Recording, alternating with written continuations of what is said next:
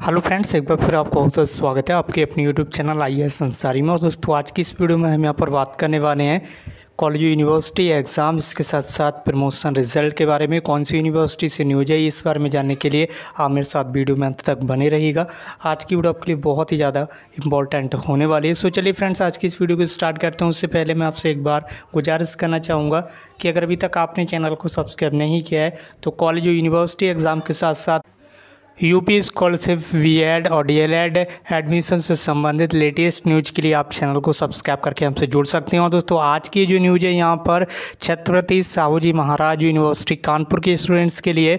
जी हाँ दोस्तों C S J M U Kanpur के सभी स्टूडेंट्स इस वीडियो में अंत तक बने रहें। शेष परीक्षाएँ अगले माह। जी हाँ दोस्तों नेक्स्ट मंथ आपकी जो परीक्षाएँ हैं, वो होने वाली हैं। हम यहाँ पर केवल केवल फाइनल ईयर के स्टूडेंट्स के बारे में बात कर रहे हैं। परीक्षाओं के बारे में जब भी बात होती है तो केवल फाइनल ईयर और फाइनल सेमेस्टर के स्टूडेंट्स के बारे में ही बात होती है, जो यहाँ पर फ़र्स्ट ईयर या फिर सेकेंड ईयर के स्टूडेंट्स हैं, वो परीक्षाओं पर अब ध्यान ना दें। उनका जो प्रमोशन रिज़ल्ट है, वो कब तक जारी हो पाएगा, इसके बारे में भी आगे वीडियो में हम यहाँ पर बात करने वाले हैं। तो आप मेरे साथ वीडियो में अंत तक बने रहेगा सी एस प्रशासन ने वार्षिक परीक्षाएँ सितंबर में कराने की योजना बनाई है। फ़िलहाल अभी तारीख निर्धारित नहीं की है, आप देख सकते होंगे।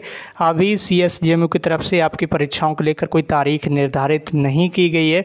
ठीक है इसके साथ ही हर सहाय डिग्री कॉलेज के प्राचार्य डॉक्टर स्वदेश श्रीवास्तव ने बताया कि लॉकडाउन से पहले बी कॉम व बी एस तृतीय वर्ष के अलावा बी ए के कुछ विषयों की परीक्षाएँ शुरू हुई थी।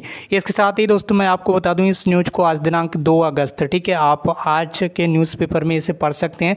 आज दिनांक दो अगस्त को कानपुर स्थित के दैनिक जागरण न्यूज़पेपर में प्रकाशित किया गया। आप इसे ऑफिशियली रीड कर सकते हैं। न्यूज़पेपर के माध्यम से कोई प्रॉब्लम नहीं होने वाली जी हाँ दोस्तों, आज की ये न्यूज़ है। अब काफ़ी समय बीतने के बाद जहाँ छात्र चिंतित हैं, वहीं कॉलेज भी पोस्ट ग्रेजुएशन कोर्सेज़ में प्रवेश को लेकर परेशान है, क्योंकि अभी अंडर ग्रेजुएट कोर्सेज़ में जो आपकी परीक्षाएँ हैं, फाइनल ईयर की, वो नहीं हो पाई हैं, जिस वजह से उनका रिज़ल्ट नहीं आ पाया और इसी वजह से पीजी के एडमिशन भी नहीं हो पा रहे हैं। पीजी में एडमिशन न होने के कारण कॉलेजेस भी काफ़ी ज़्यादा परेशान हैं। इसके साथ ही परीक्षा नियंत्रक डॉक्टर अनिल कुमार यादव ने बताया है कि स्नातक अंतिम वर्ष की बची हुई जो परीक्षाएँ हैं, वो सितंबर में कराने की योजना है और उनका जो परिणाम है, वो अक्टूबर में जारी कर दिया जाएगा। फाइनल ईयर के स्टूडेंट्स का जो रिज़ल्ट है, वो अक्टूबर में आएगा, लेकिन यहाँ पर जो फ़र्स्ट ईयर और सेकेंड ईयर के स्टूडेंट्स का जो प्रमोशन रिज़ल्ट है, वो अगस्त में ही यूनिवर्सिटी की तरफ़ से जारी करने की पूरी उम्मीद है, क्योंकि इन स्टूडेंट्स को अभी नेक्स्ट क्लास में में एडमिशन ले रहा है जिसके बाद वह स्नातकोत्तर में प्रवेश ले सकेंगे। इसके साथ ही वहीं संचालित प्रोफेशनल कोर्सेज में दाखिले के लिए प्रवेश परीक्षा इस माह के अंत तक कराने की योजना है, जो स्टूडेंट्स भी सी एस कानपुर से बिलोंग करते हैं।